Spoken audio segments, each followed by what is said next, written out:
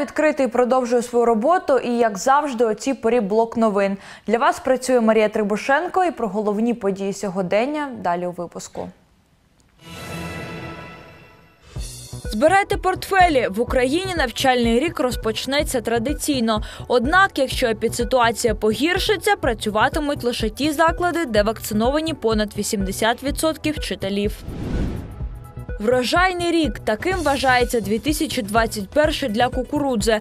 В Україні прогнозують до 36 мільйонів тонн валового збору зернової культури. Хокейні пристрасті вперше в історії Дніпра на льодовій арені зібралися хокеїстки із п'яти клубів України. Спортсменки готуються до чемпіонату світу. І про це та інше більш детально. Обстріл українських позицій. Двох наших бійців-земляків поранено в зоні операції об'єднаних сил. Сталося це в День Незалежності. Йдеться в повідомленні оперативно-тактичного угрупування Схід. Травми 49-річного захисника із Кам'янського виявилися смертельними. Іншого пораненого доправили до Дніпра гелікоптером. Хлопець отримав наскрізне кульове поранення зап'ясних кісток, правої руки та вивих передпліччя. Спочатку бійцю надали меддопомогу в мобільному шпиталі, потім евакуювали до 16-ї лікарні Дніпра, де він переніс складну операцію. Наразі стан хлопця стабільний, кажуть медики. Отримав вкрай важке поранення правої кісті кульове. Тобто, коли він взяв автомат, була команда до бою, куля йому вручила, влучила саме в кість. Наш земляк, він з нашої області, з району, йому 34 роки.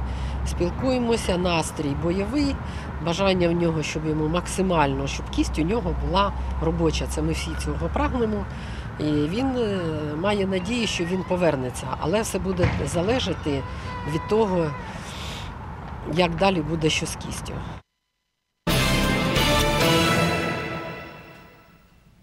На Дніпропетровщині за добу виявили 79 нових випадків COVID-19. Стільки ж людей подолали хворобу. Про це повідомили в обласному департаменті охорони здоров'я. Найбільше нових захворілих у Кривому Розі, Кам'янському та Дніпрі. З початку пандемії у регіоні зафіксували майже 140 тисяч випадків корони. Понад 132 тисячі людей одужали. Та лікарі попереджають, новий штам Дельта активно шириться країною і він надто агресивний. Ситуація по ковіду погіршується і в Україні, і в нас в області. І сьогодні ми вже зафіксували тільки в лабораторії Мечникова 36 випадків дельта штаму. Цей показник буде рости. Я щойно вернувся з відділення реанімації, де знаходяться троє наших пацієнтів. І хочу сказати, що цей вірус проходить, як правило, в дуже важкій формі. Безпечний ЦНАП у регіоні співробітники центрів надання адмінпослуг влаштували флешмоб. Усі разом вакцинуються від коронавірусу. Так, власним прикладом демонструють, що потрібно бути відповідальним та турбуватися про здоров'я своє та оточуючих. Долучилися до флешмобу і в Кам'янському. Як вакцинуються адміністратори, бачили наші журналісти. Зі згодою на вакцинацію. Туди. Адміністраторка Антоніна Борисова говорить, завдяки тому, що в їхньому ЦНАПі дотримувались правил карантину, коронавірусом тут майже не хворіли. А коли випала нагода ще більше убезпечитися за допомогою вакцини, моментально зголосилися на щеплення. Важливий захід, який допоможе запобігти поширенню хвороби.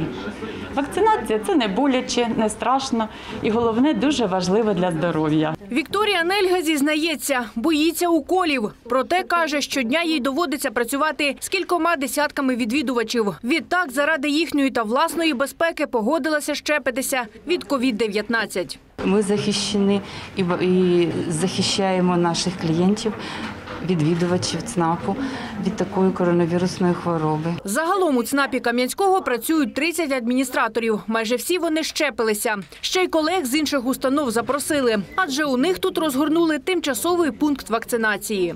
Зручно співробітники задоволені, тому що, якби, скажімо так, не е, без відриву від робочого процесу ми зробили таке добре діло. І далі продовжуємо працювати вже убезпечені, скажімо так, ще більше. Продовжуємо обслуговувати наших відвідувачів. Медсестра Альона Чулкова вводить вакцину Pfizer Комірнаті. Нині щепить 42 людини. Взагалі в- центрі вакцинації ми вакцинуємо 170, 150, по-різному, в середньому 150 чоловік в день. Ручки на місці працюють.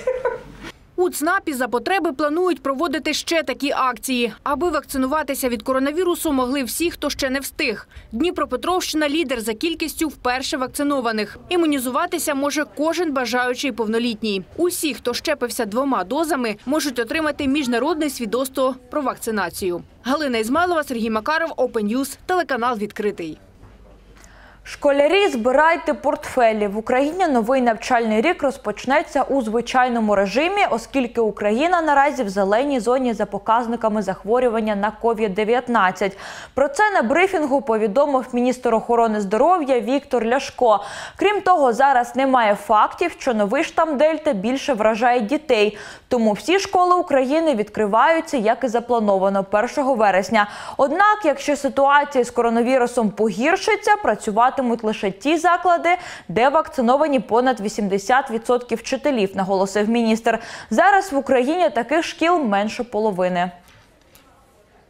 Ми розпочинаємо звичайний навчальний рік, коли діти підуть до школи. Далі ми говоримо, якщо будуть ускладнення епідситуації, якщо буде зростання кількості випадків, і по адаптивному карантину країна перейде в жовтий, помаранчевий або червоний рівень епідемічної небезпеки, будуть працювати тільки ті школи в цей період часу, в яких більше 80% педагогів вакциновано проти ковід в цьому конкретному закладі. На Дніпропетровщині ковід-щеплення зробили вже понад 35% освітян. Переважна більшість вакцинувалися двома дозами. Про це під час прес-конференції розповіла виконуюча обов'язки директора департаменту охорони здоров'я облдержадміністрації Вікторія Кулик. На сьогодні у нас е, майже 37 тисяч із 103 тисяч е, працівників освіти, які мають право на щеплення, вже отримали щеплення. І близько 80% із них завершили щеплення, отримали дві дози. Я е, сподіваюся і е, впевнена, що вони будуть більш активно тут до- до 1 вересня вакцинуватись. Тим більше, що кожного дня ці показники ростуть. Зошити, ручки з олівцями, рюкзаки та урочисте вбрання. За лічені дні 1 вересня, а отже, школярі та їхні батьки готуються до школи. Як заощадити на шкільному спорядженні, де краще купувати та скільки коштує зібрати учня у 2021-му, знає наша Лада Донець. Фломастери. Кольоровий картон і папір. Зошити. Вже п'ятий рік поспіль збори Тимура до школи це важлива подія для родини Балюри. Шукати шкільне спорядження для сина Ірина почала ще на початку літа. Каже, тоді ціни нижчі. Найбільш ми купуємо він через інтернет, це онлайн-магазини. Також е, в наших містах, торговельних центрах. По-перше, ми вибираємо по якості і вже дивимося, щоб було це якість і ціна за доступною ціною. Яка буде сума в чеку, залежить від якості та бренду, кажуть продавці. Проте ціна на один і той же товар коливається в різних місцях. Наприклад, щоденник у твердій палітурці на ринку в середньому коштує 60 гривень, в інтернет-магазинах 50. Пенал зі шкільним приладдям на ринку обійдеться у пів тисячі гривень, онлайн десь за 250. Зошит на 12 аркушів на ринку по 4,50, в інтернеті по 3,50. Зошит на 18 аркушів 5,50 і 4 гривні відповідно. Обкладинки на зошити від 12 і 16 гривень. Канцелярія для Тимура п'ятикласника обійшлася приблизно у тисячу гривень. Купували все онлайн, розказує матір. На ринку усе б це коштувало майже вдвічі більше. Ось дівчинка в мене скуплялася, вона на двойнят скупилася, от у неї вийшло 3750. Ну, вона брала все саме хорошого качества. Якщо брати онлайн, економія суттєва, каже мама п'ятикласника. В інтернет-магазинах часто пропонують знижки. Ще дуже вигідно об'єднуватись з іншими батьками та купувати шкільне приладдя за оптовими цінами. Дуже багато ми купуємо зі знижками, навіть рюкзак ми вибрали зі знижкою. Е, Він коштує тисячу гривень, це з пеналом. Е, У нас в магазинах дороже, дорожчі рюкзаки. Також на різних е, сайтах англійських, американських ми оце він звідти замовляємо і виходить дешевше, ніж у наших магазинах. Після відміни шкільної форми, яка виходила в копійчину, тепер найбільше б'ють по кишені рюкзаки, зізнаються батьки школярів. 1800 такий, 1400, А оці менші, маленькі. 900, 950. Проте на ранець грошей не шкодують, адже якісний може прослужити не один рік. Я його вибрав е, за кольором і за дизайном. Обирали ми також за якістю, е, також дивилися, щоб це була ортопедична спинка і обов'язково світовідбивач. Зібрати Тимура до школи обійшлося родині в 7 тисяч гривень. Кросівки, туфлі, е, шкільний одяг, спортивний одяг. Е, Також ми, також ми купили дві сорочки і джинси. Щоб заощадити, експерти радять брати вживані речі, а увесь святковий одяг може замінити вишиванка. Лада Донець, Олександр Вернегоров, Сергій Макаров, Open телеканал відкритий.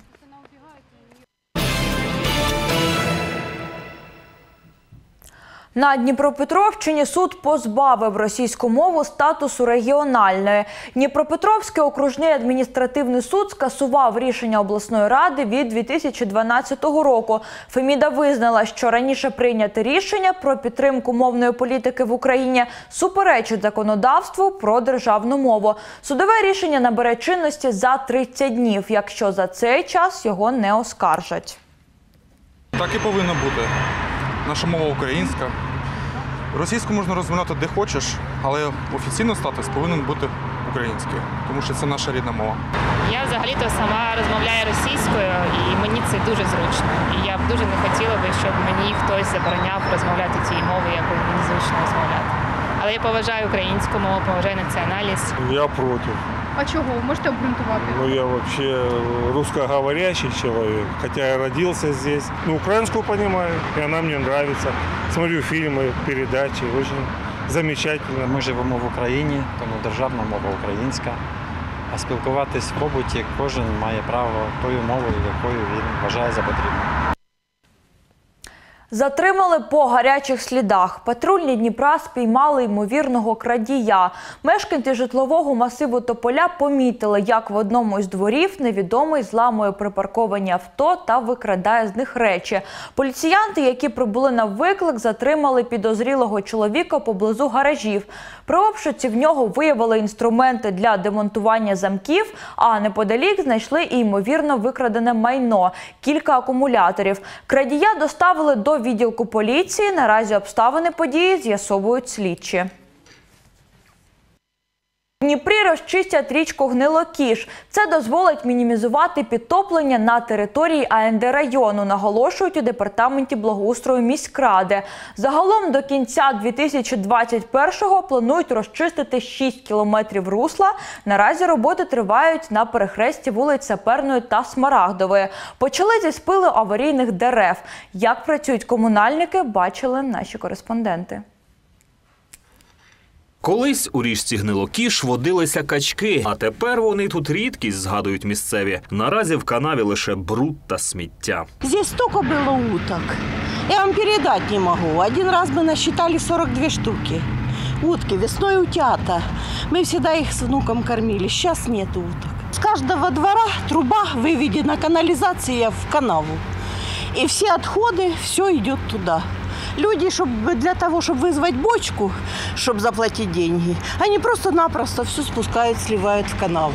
Валентина і Олег з Малку мешкають поблизу Гнилокішу. Кажуть, живуть як на болоті. Нещодавно на вулиці Богдана Хмельницького прорвало колектор, і всі ці нечистоти стікають до них. А сморід стоїть такий, що неможливо дихати. Ну, уже недели две Воняет такая так, вонь, что коллектор ужас. прорвало, сюда всю воду пустили с коллектора с правды, с Богдана Хмельницкого. Или откуда там, я не знаю, может быть, с В других. доме находиться невозможно. Сан- э, санстанции нету. А теперь куда? В экологию обращаться или куда? Куда не обращаемся, никто ответа Никто не ничего не дает. знает. Вы пойдите понюхайте, что делается. Комунальники Дніпра вже розпочали очищення та благоустрій річки Гнилокіш. Після того, як видалять аварійні дерева та покосять чагарники, почнуть розчищати і поглиблювати дно каналу. Це має відновити рух води, стверджують фахівці. буде виконано роботи з розчищення, поглиблення самого каналу Гнилокіш та з відсипки відкосів для того, щоб мати змогу його укріпити. Під час очищення каналу також працюватиме екологічна поліція. Виявлятиме мешканців, які скидають каналізаційні відходи в річку. Порушників обіцяють відключати від водопостачання та змусять заплатити штраф від 15 тисяч гривень. В момент расчистки реки Гнилокиш мы будем осматривать так называемые выпуски, поскольку порядка 20% жителей, которые проживают в районе реки Гнилокиш, а, осуществляют так называемые сбросы канализации непосредственно в эту реку.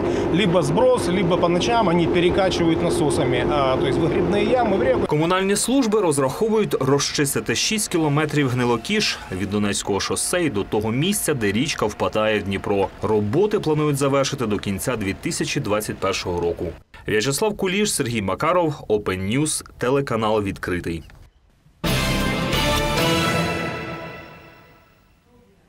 Врожайний рік таким вважається 2021 для пізніх культур соняшника та кукурудзи. Зокрема, кукурудзою цьогоріч на Дніпропетровщині засіяно майже 300 тисяч гектарів. З них планують зібрати до півтора мільйона тонн зернової культури. Урожайність вищу за торішню очікують і в Україні. Прогноз до 36 мільйонів тонн валового збору. Усе завдяки сприятливим метеорологічним умовам, акцентують аграрії. Наступний наш репортаж із кукурудзяних полів. Ну, на даному качану це і 14, погані года вона може йде, 12 закласти. Ну, а по цьому полі я дивився від 14 до 18 рядів. Ну, зерно нормальне, зараз фаза молочно-воскової стиглості. Ще давиться. Ну, думаю, на кінець вересня буде готово. Василь Гурін, керівник фермерського господарства КСГ Дніпро, очікує цьогоріч вдалий урожай кукурудзи. Розказує, через примхи погоди основна посівна кампанія припала на початок травня. Це вже були пізні строки. Однак згодом погода змінила гнів на милість і забезпечила для качанів достатньо вологи та умови для вдалого запилення. І основний момент це період цвітіння, щоб не було температури вище 30 градусів Цельсія, тому що тоді проходить погане запилення. Те, що ну, було минулого року. Це була одна е, із причин недобору високого, ну, високого недобору врожаю. Ну, цього року були сприятливі умови, так що думаю, буде врожай добрий. Кукуруза просто на сьогоднішній дуже в гарному стані. Висота кукурузи, я не пам'ятаю за останні 10 років, щоб вона вище 3 метрів була, ну до 2,5, 2,60, 2,70. В цьому році 3,5 метра. Тобто облистяність неймовірна, висота, прогнози хороші. У 2020-му через несприятливу погоду Василь Гурін збирав із центнера всього понад дві тони кукурудзи. Цьогоріч планує зібрати в засіки втричі більше. Хороші роки, маса тисячі може бути і 400 грам, поганий 200 грам. Це маса тисячі насінин. Це показники, можна сказати, в два рази. е, Ну, різниця. Оце може в два рази і врожайність тільки за маси тисячі. Якщо буде добрий налив, то я думаю, це поле тон воно нам дасть. В інституті зернових культур Національної академії наук України наголошують, стан посівів кукурудзи в області неоднозначний. Зокрема, на півдні регіону через поверхневу кореневу систему та дефіцит вологи зерно дозріває повільно. А от в центрі, на заході та півночі для біологічної стиглості кукурудзи всього вдосталь. Ну, На сьогоднішній день я хочу сказати, що більшість районів, тобто стан посівів в більшості районів задовільний і тільки критичний на півдні, де у нас запаси в метровому шарі 30, 32, 35 міліметрів. А треба, щоб були на сьогоднішній день по середнім багаторічним 63. Тобто ви- випаролось більше, ніж потрібно, щоб знаходилося. А от якраз центральна частина і північна області, там запаси вологи дуже гарні, навіть більше, ніж багаторічні, тому там все добре. Тому в середньому я думаю, що буде урожай по області дуже гарний. Цьогоріч на Дніпропетровщині під кукурудзою майже 300 тисяч гектарів. Середня очікувана врожайність з гектара до 5 тонн. В Україні Нині загальна посівна площа кукурудзи понад 5 мільйонів. Тож валовий збір головної експортної культури перевищить показник рекордного 2019 року і складе десь 35-36 мільйонів тонн. Так оцінюють майбутній урожай кукурудзи вчені інституту зернових культур. За радянських часів, в 80 1985 році, рекордний урожай всього радянського союзу валовий збір був 16 мільйонів тонн. Україна зараз збирає в 2,5 рази десь більше, ніж колись радянський союз, всі, всі республіки разом. Тому у нас є перспективи. Тобто, поки що навіть глобальне потепління на цю культуру якби впливає, ну не так суттєво. Тому є перспективи і подальшого зростання урожайності. В Українській зерновій асоціації також акцентують цьогоріч метеорологічні умови дають надію на гарний врожай кукурудзи по всій країні. Тож можна припустити, прибутковість фермерів теж покращиться. Однак остаточно про врожай 2021 можна буде казати лише тоді, коли його зберуть, адже мінлива фортуна може внести свої корективи будь-якої миті, зазначають аграрії. Валентина Максимович, Володимир Туркулець, Open News, телеканал відкритий.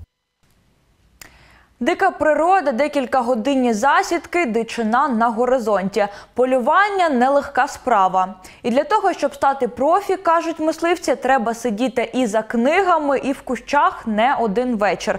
Журналісти відкритого знайшли досвідченого звіролова, який згодився показати, як полюють на пернату дичину.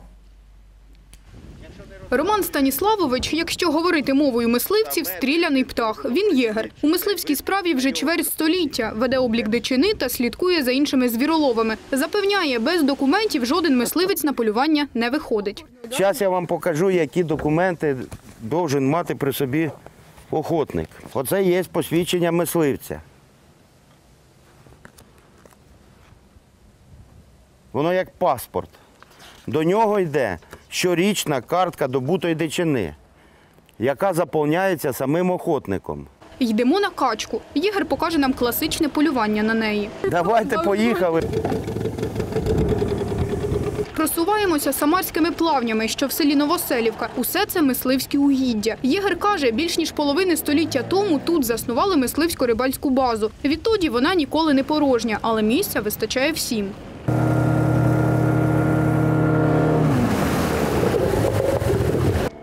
Горизонті качок поки не видко. Взагалі дичина, каже мисливець, зараз надто полохлива, тому і знайти її непросто. Вона майстерно маскується. Вона тут везде живе. Везде. Тут в кожному кусту вона є. Найперше шукаємо тихе містечко. Тепер наша задача поставити отаких манків, десь укромно заховатися і часов 5-6 виманювати їх оттуда. Манки, якщо простими словами, це імітація качки, і без них, кажуть мисливці, улова може й не бути. Манки бувають різні, дерев'яні, які повторюють силует птаха, а є манок, який імітує звуки. Отак.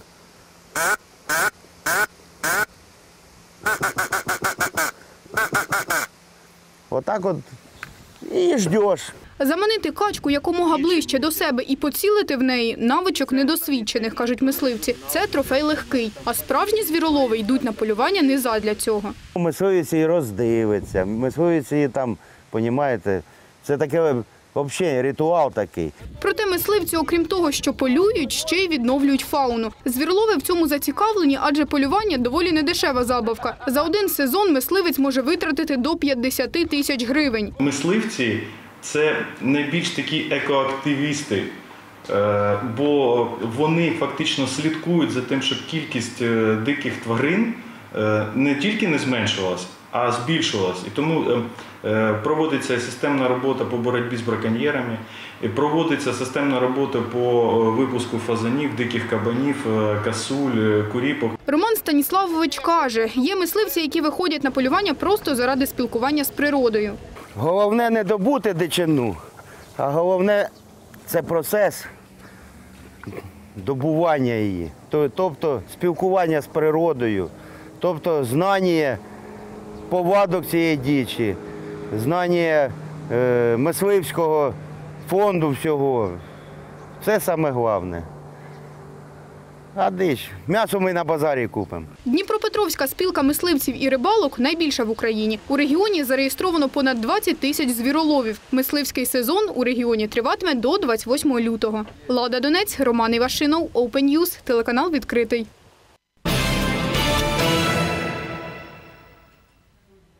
Хокейні пристрасті у Дніпрі. Вперше в історії міста на льодовій арені зібралися 23 хокеїстки із п'яти клубів України. Вони готуються до чемпіонату світу. Хто представлятиме країну на міжнародних змаганнях, В'ячеслав Куліш знає. У хокеї кажуть, воротар це півкоманди. До цього вже звикла 15-річна харків'янка Анна. На останньому рубежі у складі дорослої збірної України дівчина нещодавно. Юна спортсменка говорить, на тренуваннях важко, але водночас і цікаво. Нагрузки тяжелые, но и весело. И э, интересно очень. Лед хороший, мне все нравится. Я просто хочу играть в хоккей, а все остальное уже просто для радости и продвижения. Поиграть тоже хочется. Хокейна воротарська амуніція важить до 17 кілограмів, проте і вона не завжди захищає від шайби. Головне знати, як правильно діяти на воротах, ділиться Анна. Стойка, позакраба, передвижение на щитках – самое основное, благодаря чему можно отбивать. А ось 14-річна Олександра зі столиці за своїм ігровим амплуа захисниця. Для неї тренувальні збори у Дніпрі це дебют у національній хокейній збірні. Дівчина вже призвичаїлася в новому колективі. Втім, зізнається, коли запросили до збірної, спочатку не повірила.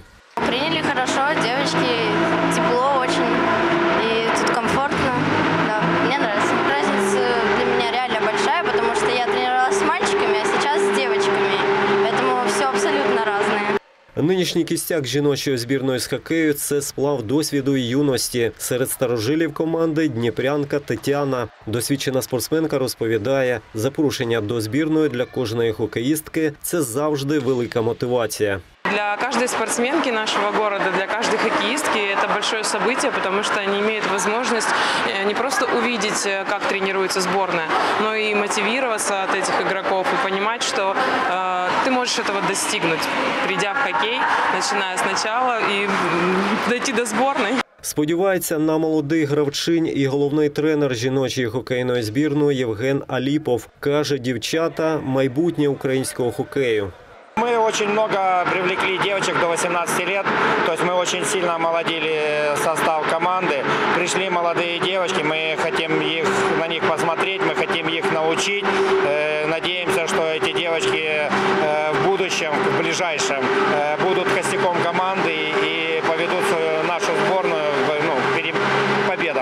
Наразі тренування на льодовій арені Дніпра двічі на день. Після літніх канікул важливо відновити фізичну форму та напрацювати нові ігрові зв'язки, каже тренер. Основная задача это под- повысить физическое и те- техническое, м, э, техническую сторону девочек.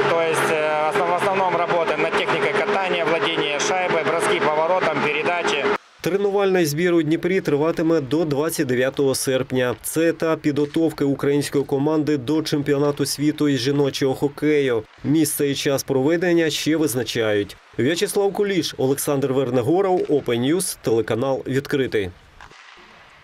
На цьому в мене все. Бажаю вам гарного настрою та затишного вечора. А більше інформації читайте на нашому сайті opentv.media. Не забувайте і про сюжети в соціальних мережах та на нашому ютуб каналі. Бережіть себе і нехай всі новини будуть добрими.